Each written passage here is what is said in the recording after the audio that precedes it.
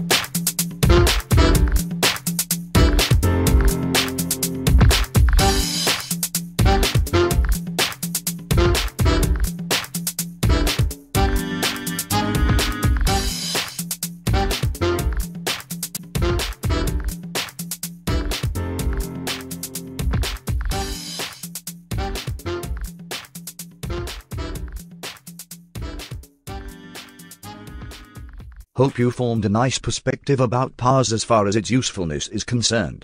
Stay tuned with us because in our next video, we will project Parse against its competitors. It will be interesting to see how Parse fares.